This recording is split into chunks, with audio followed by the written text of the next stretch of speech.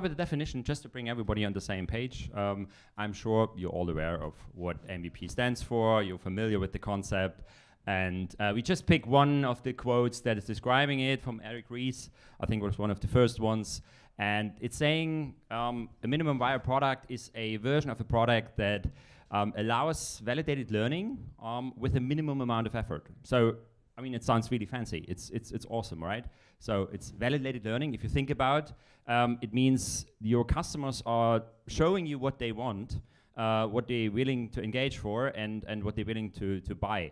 Um, and you only have to spend very little amount of effort and time uh, to achieve that.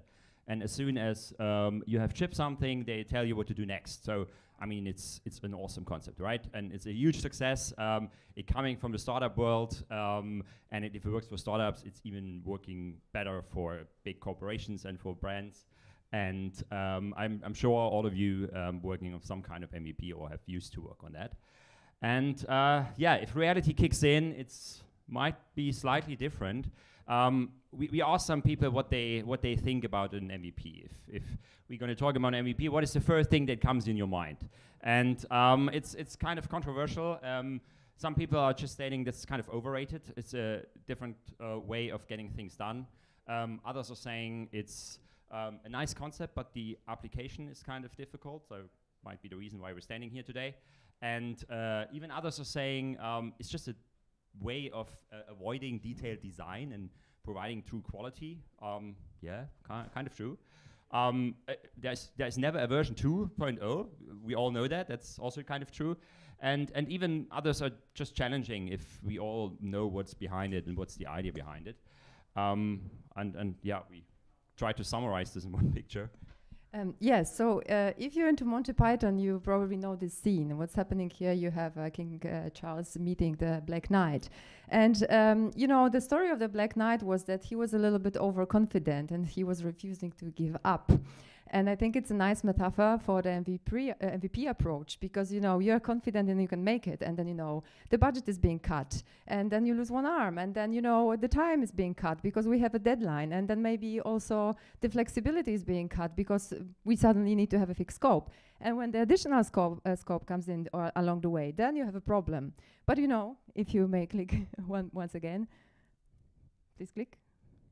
Yeah, this is just a scratch, you know, we have to move on. Like we, it doesn't matter, like what will you do? Like, will you bleed on me? You cannot, we have to move on. You have to go on with the project and you have to basically deliver based on the, you know, requirements that you have, time, budget, everything. Yeah. So my name is Paulina. I'm with FFW since two years already. I'm client manager. Um, I'm happy when clients are happy. I'm happy when the teams are happy. Uh, and I'm happy when we can deliver on time. And with me today, Thomas. Yeah, I'm, I'm Thomas. Um, I'm the head of digital platform at Leica Camera.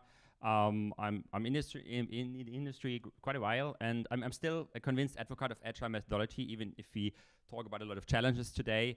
Um, yeah, if you if you haven't heard about Leica Camera, uh, I'm sure you have heard about FFW. Um, but shortly about Leica Camera, we are a, a photo manufacturer. Um, um, the company is around for over 150 years, so it's kind of the inventor of the compact camera. So it's the company that first came up with the idea to produce a small camera you can carry around with you. And um, yeah, we work together with FFW. Uh, yes, we are FFW. We've been founded 2000. We have our headquarters in Copenhagen. However, we have uh, 25 offices across the world. Uh, we deliver digital strategy, experience, innovation um, for for plenty of customers, and of course, we're hiring just just in case, just in case.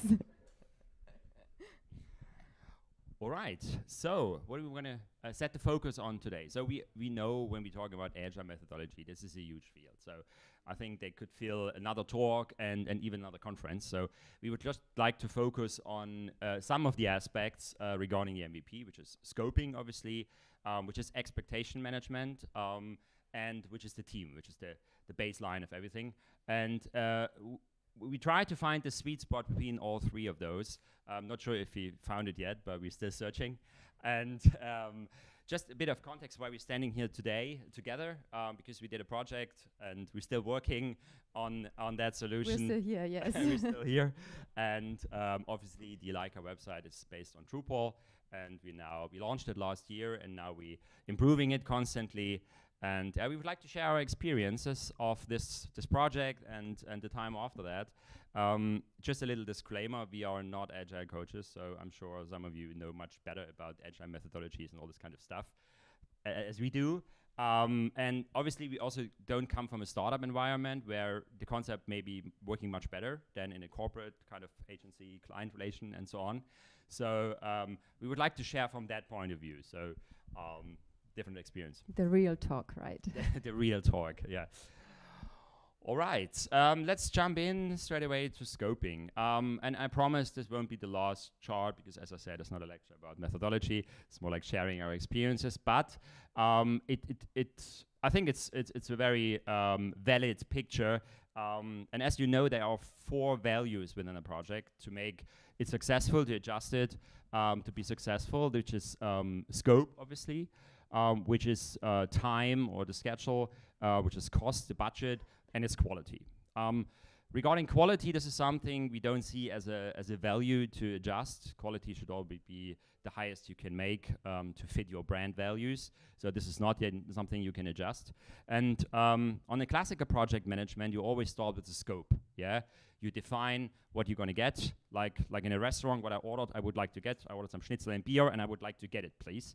And um, in those kind of projects, mostly kind of cost was an issue because it was over budget or at least time was stretched and you raised deadlines and stuff like that. And some smart people came up with the idea to change the system and say, okay, let's let's uh, fix the cost there, or they had fixed cost because it was a startup and they had just a budget. And um, let's also set a time where we would like to ship something pretty soon, obviously and let's keep the scope open. Um, just let's do what we can. Let's let's do the best stuff that is most valuable to us first. Always reevaluate what to do next and what's best, and uh, let's see what we can make it. Um, and and just yeah, stick to cost and and time. And um, I, am still and we still believe this is a great concept, but it brings the core challenge when we're talking about MVP and agile um, and that is that the scope is always flexible. You, you never know what you're going to deliver until the, the, the, first release, and even for the second one, you even don't know what will be in there. So that is the core challenge to, to the agile uh, methodology. And um, yeah, why, why should we bother? Why do we think it's still a great concept? And as in the, in the initial phrase was stated, um, oh. some important notification from the team. Um, system is down. um, yeah, so the core, the core of the idea still stands. Um, you only deliver or uh, implement what is really important, what really brings value, and you're faster. You're way more efficient um, than in other ways. And what comes with it is it's kind of a collaboration. It's it's a cooperation. Um, it's, it's co everything. Yeah, you work together, agency and client, uh, within the entire organization. Obviously, with your customers and your users. So you build this together, and this is way more efficient than just building something and see what happens. So um, we still believe in it, but um, yeah, it's a challenge, right? Yeah, and the beginnings are always tough, right? So how how do you decide what you're even taking, you know, into the MVP scope, right? So obviously it has to be a product that it's functional and can be used, right? So this is maybe not uh, something that you want to have uh, as a as an MVP version, right? And you have to kind of, you know, you have to gather requirements. You have to sort through the clutter. You have to make a tough decision. You have stakeholders. You have, you know, needs that have to be met. Uh, maybe some some political decisions in the background that has to be taken into consideration. And you have to remember that some parts of the projects, or even maybe some projects, won't be suitable for the MVP approach like by default, by design basically. So this is also something that you have to think about it. And I think even for like, you know, premium brand as Leica, you know, when, when we delivered like a, you know, the, the website was like half done, you know, it's it's super difficult to, you know, explain it, right, to internally. It definitely is. I mean, we are a premium brand, like only perfection is the right level of quality to ship to customers and then you come up with an unfinished website. This is really hard to, to digest. So and we had a we had a hard time doing that. Um, so i think next time maybe we do it differently but um, that's that's really a, a difficult task. Yes so. And yeah i mean even if you manage to decide what's in the MVP, what is core, what is valuable to you, um, you're, you're not done in the process. Um, you have to do this task all over again. Yeah, if you manage to tell your client or your stakeholders what will be the, the final result, what is the, the first iteration of the product, um, this is not valid anymore after two or four weeks, and you have to start over again. And our recommendation is, and to be honest, we are not 100% there, uh, hopefully we'll get there, um, be as structured as you can on the whole prioritization process and deciding what will be what be the most important, most valuable feature and and I find I mean there are a lot of frameworks out there like RICE or MoSCoW or whatever you you know much better than we are, we do. Um, there are frameworks there and, and pick one and and really um, stick to that one. Yeah, explain everybody how you do that. Make it most transparent as you can. Make people participate on that and really stick throughout the entire process on that on that method because this is one core thing if you don't know what you're going to deliver, at least show people how you decide on the on the go all the time. Yeah, let's talk about the projects and products actually for a second, right? Because you know we have the the project mindset and we have the product mindset, and very often we are facing uh, clients or projects that are that are done according to the project characteristics. And you may think actually that the product characteristic, uh, the project characteristic, sorry, is very you know, close to agile, but it's actually not really. It's not really about the delivery. There are some, you know, um, some some stuff that you have to consider. You have to consider that the funding will be different, right? So if you think about the project, you're basing, you know, the you budget on based on resources and time. Actually, when you fund for the product, you fund for life of the product, right? So you you just you base your decisions on on business needs, right? So, um, you know, um, work stops on a fixed date for the project. Yeah, the project is done. We're moving on. We, we move on to another project. This this just doesn't work to for building products. So you we have to um, think about that. And of course, there's lots of change uh, that has to be embraced when we think about the products. Like we we could you know write a book about how many discussions we've been having with also here teams and you know and, and we together with the stakeholders. Like why why are things changing? And you have to just accept the fact that the change will come, right? So focus on the features, not on the plan. And of course, track the project by, by business value, which also has some implications, right? Absol absolutely. And I mean, killing the project idea is, is really hard for senior management to understand. And, and it's really a hard time to get this through because they need some some items they can kind of control, put budget on or put budget away, and then you know uh, know what they get, know what they what they buy. So um, if we come to like senior managers and ask for budget and tell them this is a commitment for like three to five years at least, they really get nervous. So uh, and, and we don't have a final solution for that. Just maybe avoiding the term project, talk about initiatives and a commitment and products and so on. So really to get the idea across. Um, this is a tough one. Yeah, absolutely. And this also has another implication when we're talking about uh, about money, basically, uh, basically, and about funding. So the project mindset influences the decisions in terms of uh, budgeting and you know the project mindset influences the budget. So the budget is fixed and sometimes it's fixed along the fixed scope and a fixed timeline. And we'll be talking about this like what what consequences does uh, that does have. And of course when when the client comes to agency we have to do some estimation. If we know this you know it's always a hard discussion. Like how do we estimate the project? Like how do we even start this conversation right? So we already at the beginning back to square one where we have to say like can we maybe you know keep the scope flexible and the rest fixed right? And then of course this is super important for the for for the agency in terms of planning right? Because if you plan with the project you actually theoretically have a team booked until a certain date. And then theoretically the team would have to move to another project we, we which we know that won't happen. If you build product you have to have a long breath right? You have to take months you have to take years maybe to to to you know be somewhat ready at some point, right? So this is also something that makes lives easier for for clients, for client managers, for pro project managers as well, right? It's a different traffic uh, uh, tracking. So um, yeah, basically, product mindset makes a lot easier when talking about project like ours. Absolutely, absolutely. Um, yeah, let's let's come to the second part, expectation management, which is my favorite part. Um, I mean, first, why why should we consider like expectation management? I mean, on on agile methods, you always hear like uh, teams are autonomous; they they decide. I mean, we know this from the entire community here. They know best what's what's good for the user. They have done all the research. There should not be a manager or a client to decide what's what has been done. And and even better, the teams should be self-organizing. I mean, this is really that that's the way we should head to. But um, no thanks. This is this is not reality. In reality, I mean, not talking about startups again, but in a, in a corporate organization and working with agency and and and and client, um, you're never autonomous. The team has not the mandate to decide everything. This is just not not what, what is happening there. There's always kind of a, a sponsor, somebody who puts the budget on it. Um, there's senior management. There are other departments that have a stake in that. So there are other people around that would like to have some influence. This is just reality. Just face it. Um, and our recommendation is first understand who are those people, and they're probably not on your project uh, within your your scope, your stakeholders. Um, obviously, not your direct client most of the time.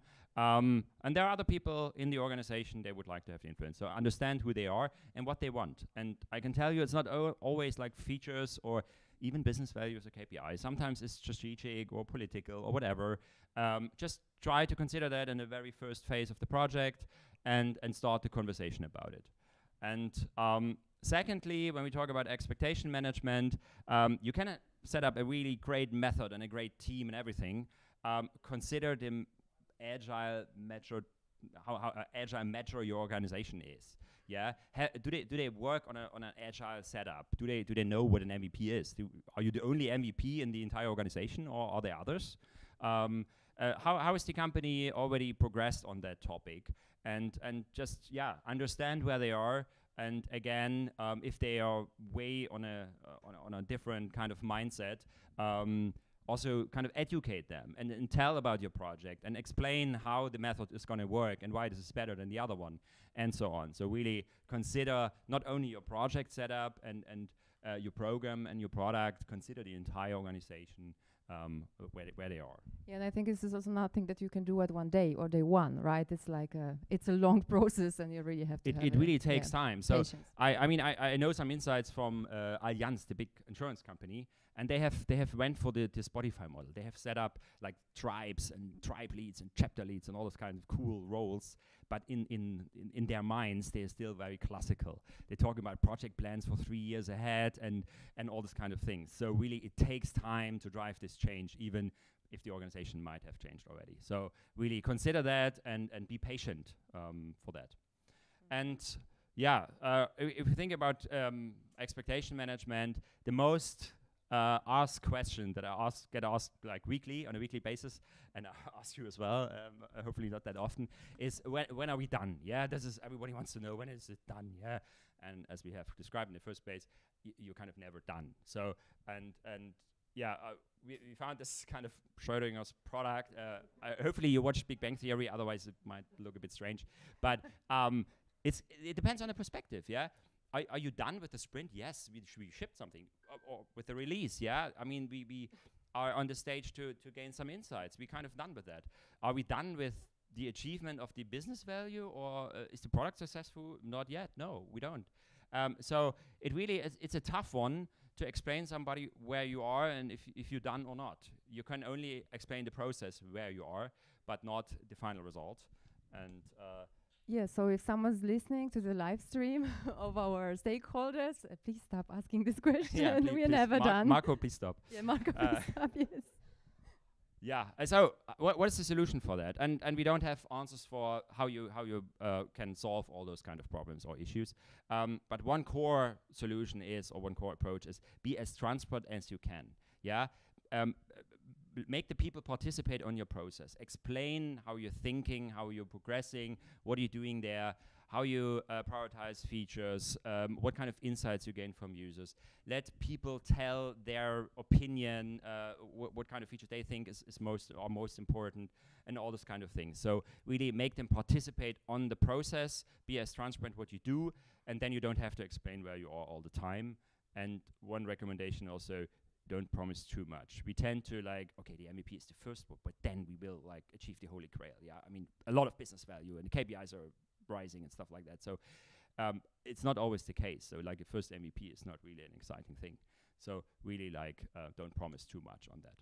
Yeah, and another point that is important is that yeah, we are here, right? So the moment we launch the MVP, we are somewhere at the beginning of the journey actually, and very often the MVP is being seen like the launch, right? Now new new story starts, new chapter starts. It's not. It's actually the first launch, and then next will follow, and the product will be developed. And I think this is very often not the case. People don't understand it like that. And the other thing that is also important that you should have an idea what to do after the launch, because our experience showed as well that we are focusing on the delivery and we are focusing on the on the deadline. And then of course we, we have hypercare and you know um, fixing bugs. And then what? Like no. Uh, yeah, run away. Exactly, right? Run away, run away. That's that's exactly what it happens. Like everyone, uh, nobody knows what to do. There's no plan. There's a well, kind of a backlog, but uh, nothing is really prioritized, and then then that's a problem. So think about it before before you launch the MVP. Absolutely, and we really, I mean, to be honest, we had a hard time on that. There was no plan after the the release, so we really focused on that one, spent a lot of effort there. We're quite happy that it went kind of well. And then what? Yeah, going to the next features, next phase or what's what's planned there? And i mean we needed to spend really a long time to stabilize and to improve and work on the backlog and all the feedback that came. And we were not really ready to to put new features in. And uh, we didn't really set the expectation for that. So uh, that was a, a, a, strong learning curve. Yes and it, it, it influences everything right? We because you know it, it, sorry it influences budget it influences planning it influences discussions. Like if you do the process all over again like imagine mvp first mvp maybe there's a second one right? So this is the whole process over again. And if you don't do that before you're already too late right? So think about it. Yeah. Yeah and also emphasize on on the long-term benefits. Yeah i mean MVP is not the first or the, the, final answer or the final solution, even not the second one or the third one. Um, just always think about okay, what was the initial uh, goal or what are the, the values you would like to to to increase, um, and and always talk about this one as well. Um, process on one hand, on the other hand, really like long-term perspective and and show how the progress is in terms of value and stuff. So I think this is a a, a very interesting advice. And then um, uh, the last point is um, yeah, keep discussing that, uh, keep explaining that, um, and and um, yeah, keep repeating uh, the challenges you have. Exactly. So it's definitely not a, a, sprint; it's a marathon, and everyone should be aware of that. It takes time. It takes, yeah, condition. You know, you have to be you have to be fit for that. You have to be prepared. Yeah, and then last but not least, you know, we thought that it would make sense to appoint a minister of foreign project affairs which is actually Thomas uh, at Leica. And this person just, uh, you know, goes on the road show, uh, road show and should expect no excitement, actually, especially in the first phases, right? Yeah, absolutely. I mean, uh, and this is this is really important not to uh, just focus too much on on all your delivery and and any team setup and all those kind of things. Uh, really keep in mind that you have to communicate what you're doing there. You have to keep people updated what's what's uh, coming next and stuff like that. So really like define somebody, and only doesn't only have to be the client; it can also be somebody of the team. But uh, define somebody who's really taking care about that, or maybe couple of teams uh, team members are doing that but really make this also one priority in your entire process to start this conversation. Absolutely and it works uh, works both ways actually because you also have to have this kind of person internally in the agency right? So you have to talk to to the team to you know designer you have to you know be there for them also so that they don't uh, they don't lose their sanity basically at some point right? Yeah. All right then third one. How, oh, you're fine with the time. Very good. Um, yeah. So uh, I talked about team like are they independent? No, they're not. And uh, self-organizing is also a very nice concept. And uh, in my experience, self-organizing teams are just happening after a team is really working for a very long time together. If they're really like uh, close together, then they are kind of in the, in the situation to uh, set up roles by themselves and define their own structure. Um, my recommendation is, or our recommendation is, um, provide some leadership, provide some structure, especially in the beginning of your uh, work on your on your product and on your project and stuff. Um, really, um, all this kind of stuff that we what we just mentioned needs some structure ahead. So you really need to set this up, need to define roles and all those kind of things. Um, it's not happening just automatically. Uh, self-organizing, nice ideal, but it's not reality. And yeah, um, about success factors of the team. And I know we can talk again, like other talks and much better talks and YouTube tutorials and stuff are around about what makes a team successful. And you don't want to go too much in detail of that. But uh, we thought about, and I think it's four uh, aspects um, that we think are important to make a team successful. And uh, we haven't been there in the first place, so on the very beginning, this is more like a progress, and we still uh, try to improve of all this kind of topics. But it's it's um, having a, a, shared agreement on on the goal, and you have to repeat that. You always do this in the very first phase, but then after months you forget what you actually would like to achieve. Have a clear understanding of methodology, and also have some discussions about it. I mean, we have seen here, like in an MVP, it's a different understanding what it is, and also like on on certain frameworks or even Scrum or or the way you you you design your process is something everybody understands a bit differently. So have those conversations. You have retros and so on. So clear understanding of methodology is important. Um, accountability, make clear roles. Everybody should know uh, what he or she is doing and, and responsible for, not responsible for. So make this clear. And um, yeah, the commitment I think is is a, is a core success factor, right? Yeah, and you know we we joined a couple of sessions during the DrupalCon the last days, and uh, there were some sessions on this topic actually, and everyone is saying, you know, um, we want to be one team and we want to be the extensions of clients team. And this has to be based on trust you know and and uh, commitment and engagement and stuff like that. And we are discussing yesterday actually are we there yet? Like the, are we are we already there? Is it even possible? Like uh, to to what extent is it possible actually as a agency team to be you know like their team so this is this is also like next conversation. So maybe we'll do a follow-up session next year like how that evolves see where we are.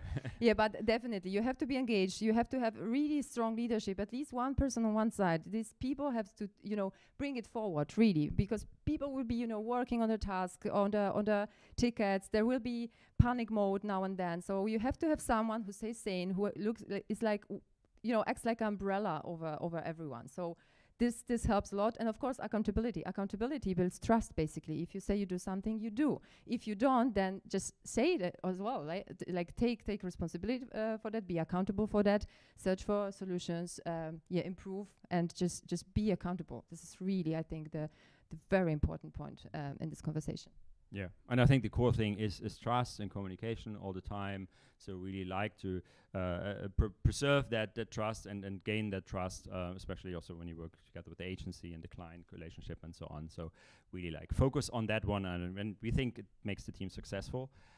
And uh, yeah, is, is there a secret source uh, for a flawless execution? You're asking me. yeah, I think we should answer this question altogether. So, if you would have put everything in place on the right time and have all the conversation going, like be before you even start planning, most probably this would be a secret sauce. We know how the reality is. Um, there's probably not, so you have to, you know, make the best out of you of what you can do with the, with given resources and time.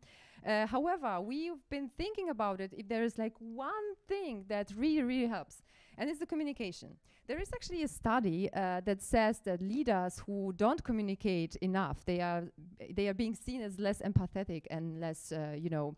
Um, successful basically right?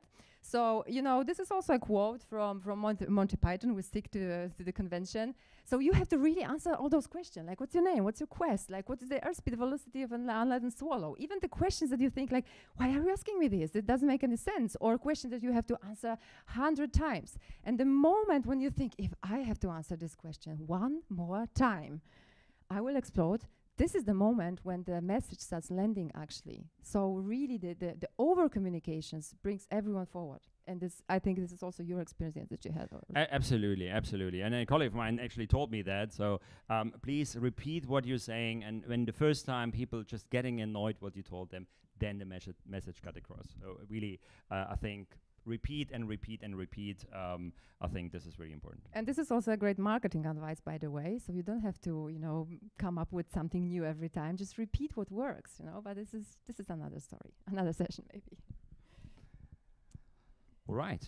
Yes. So at the end of the day, um, everyone says it as well. Yeah, we're in this together, kind of. We're in the same boat, but it's uh, getting easily forgotten when you run into trouble, when you run into some issues along the way. Um, so be there for the team. Uh, be there for others, like either on, a, on on your side or my side. I hope that if I ask the teams uh, working with us internally, they would say uh, something nice about our cooperation. Maybe we should have asked that. But uh, you really have to work towards it. It doesn't happen overnight. This is a process. This is uh, hard work. This is dedication and engagement from everyone involved in the in the topic, in the project, and only then it really works. I can only agree. Also from from client side, I mean, this is something, and you should always set the frame like that. That you're working together and you you're winning together and losing together. But this is really the reality. So if you if you set this value in the very beginning, I think this is the right way to go. And uh, yeah, talking about the way to go. yeah. Last but not least, um, so you know, you don't have to love your job, but you have to at least enjoy it. So I was thinking that the moment that I think, oh, I have to call Thomas again, I might think about changing jobs. You know, you have to, you have to, you have to enjoy. it's, it's, it's not bad at all. Um, no, but you have to enjoy it uh, somewhat, right? So you have to really, in order to be engaged, in order to be authentic, in order to dedicate your time, maybe going the extra mile once in a while. You know, um, taking some some some some more. Um, task that you that you would have you have to enjoy it right so yeah sometimes we don't know where we're going sometimes we don't know what the outcome will be we obviously don't know what the next year will bring but at least we definitely know that it won't be boring like we know that you know that you know that Certainly not boring. No, I, I can agree. And uh, with all the obstacles and all the challenges you're facing, and they will remain, uh, my advice is just um, keep accepting that, find smart solution for that, but always uh, remember. I mean, hopefully we together and, and all of you are the ones that bringing the change, that bringing the innovation, that try to, do- to do things better. So I think it's worth it to face all these challenges to really drive this change. and at the end of the day if you want to uh, you know check your relationship with a client you can always ask to Drag come him on the with you and Yeah, make it exactly ask him to come with you to the DrupalCon and uh, hold the session together so we're here It really works. Thank you so much. It was a pleasure to talk to you.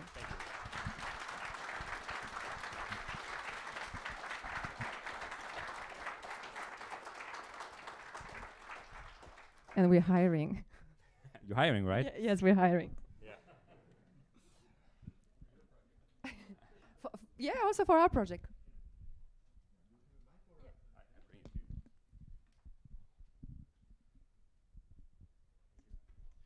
Excellent talk. A great start for the day, I would say.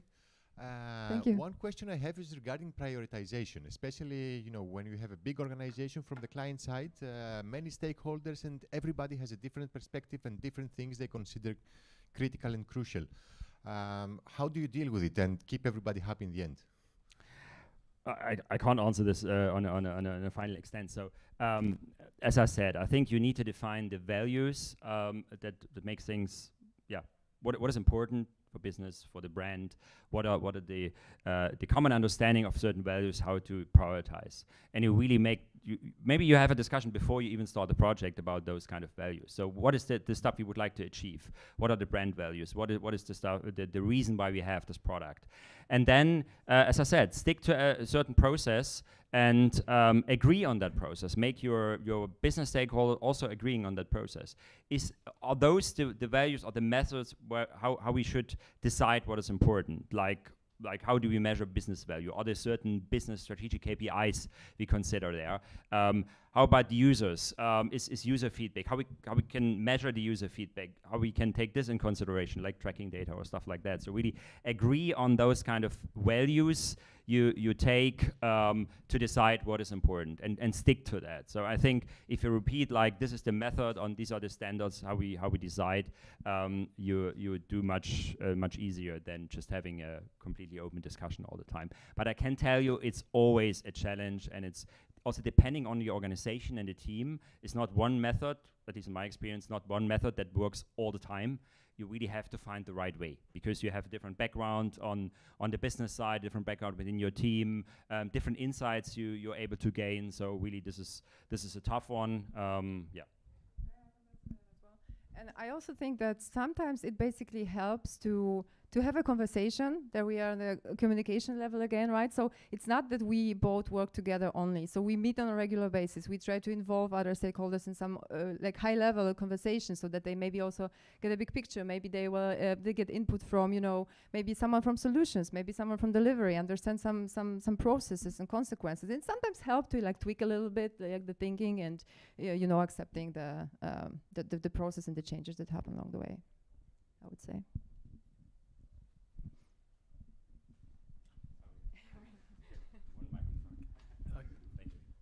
Can you give me a little information on the, the budget and scope of this? And was it a migration? Was it an up, was it a upgrade or tell us a little more? Can't give you the insights about the budget, but uh, it's um, it was yeah we we uh, actually put the entire um, global website of Leica camera, which is a like we have 15 different languages all over the uh, the world, and uh, we put this together uh, on a on a on a centralized platform and one core um, system of that platform was Drupal basically. Um, the platform also consists of, of like a commerce solution and like PIM data and stuff like that. But it was kind of a, a migration from an old CMS.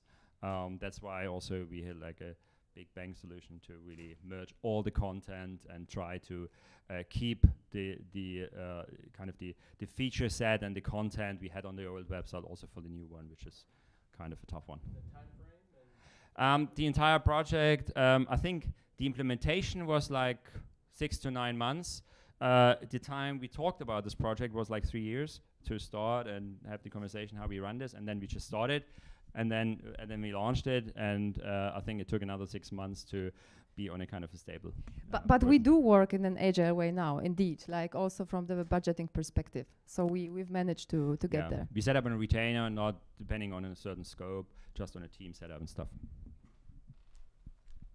I have a similar question to him. Uh, I know that you couldn't uh, talk about the budget, but maybe about the team members, how many team members you had in the project team, maybe also from you, from the agency side, and from you, from the client, or maybe if you worked like in a um, um, sort of development or web squad or something like that. Huh?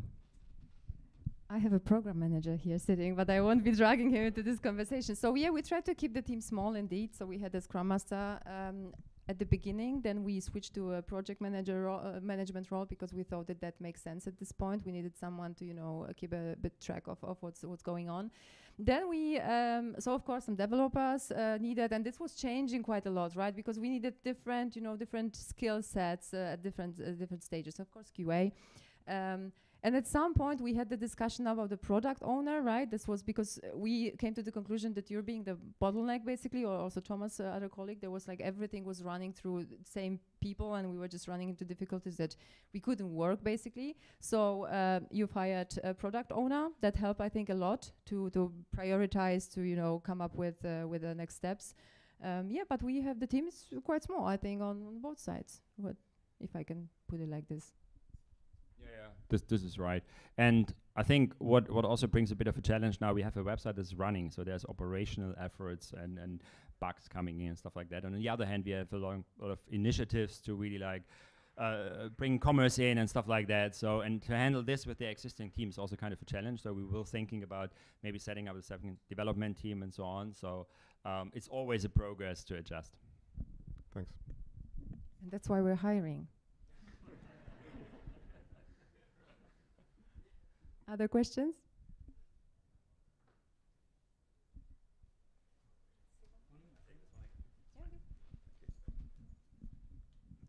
Thank you. Um, as a technical person in the room, I'm curious how you incorporate innovation in your MVP concepts. Because as a technical person, I often struggle to uh, translate technical needs, sometimes laying foundational architecture of the project into concept of MVP where we just want big red button or something.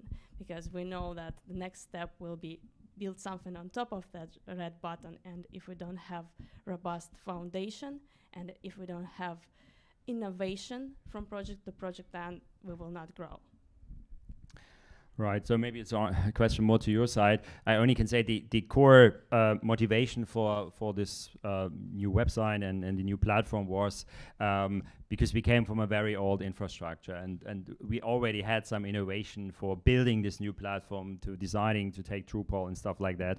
Um, but yeah, being innovative and having enough uh, also room to to think about better solution, I think, is something we always facing as a challenge. So So at the very beginning, we of course had a, a solution architect involved, and there were lots of conversation how to set up the whole architecture. So it's not that we just started with something. There was a whole discovery phase to you know find out what's really needed.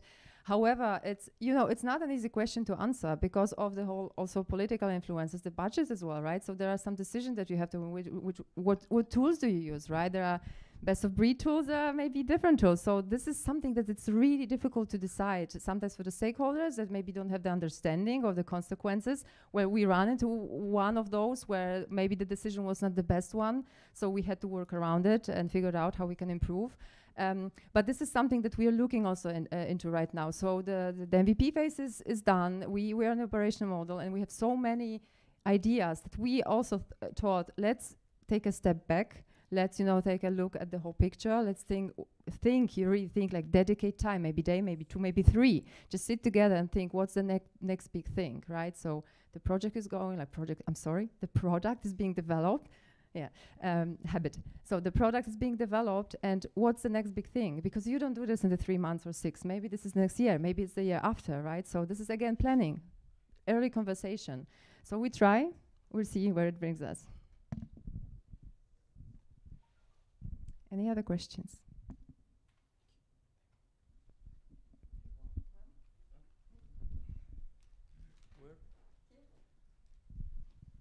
Thanks. uh, at what point did you decide to use Drupal, or was it? Uh, did it come from the uh, product side? Uh, did you know how you wanted to build it, or uh, yeah, when did you reach that decision? I'm not sure because I wasn't involved in that decision, to be honest. Uh, um, no, I, I, only can tell from what I've heard. Um, it, it, it, I think it's two years ago, so even before the project, we make an evaluation. What is what is the best system for us? And I think one reason was uh, because it's open source and there's a lot of progress there. Um, it's a very flexible system. Uh, we have other like uh, interfaces we needed to build and stuff like that. So we needed to really uh, be able to customize everything.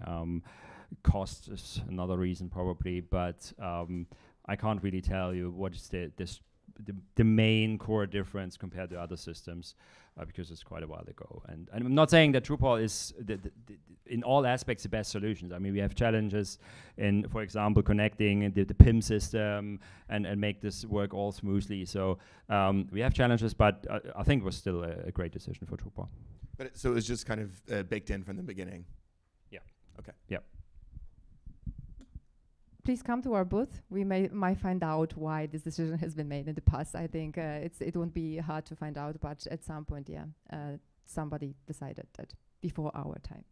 If there are any other questions, we are uh, at FFW booth, uh, so please come by. We will be there. Uh, let's have a conversation. Uh, our team is also there, and yeah, thank you for listening. It's 10 o'clock. Have a great day.